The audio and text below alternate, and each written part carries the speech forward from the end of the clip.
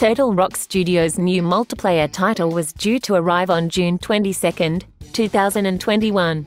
However, it seems that today is a day of delays, in case there was not enough so far this year. The fact is that the study has confirmed that they need more time to polish the game.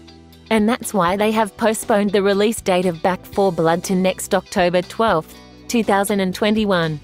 Of course, they ensure that we can enjoy the first beta open this coming summer without having specified more specific dates.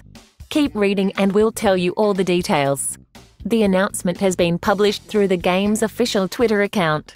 And according to its creators, they are working very hard to make the game as good as expected of it. Something they need more time for. Of course, they thank the fans for their support. As for the game, and in the words of its own creators in the past, it is a next generation cooperative FPS where you can shoot many zombies like in Left 4 Dead, but with many new things that make it unique.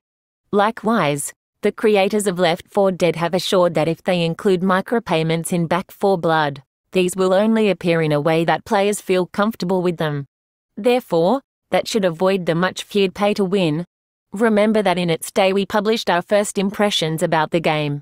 And we commented that, in general, our first experience with him we had felt as the perfect balance between the old and familiar and the new and fresh. The title will arrive on PS4, Xbox One, PC, PS5 and Xbox Series XS.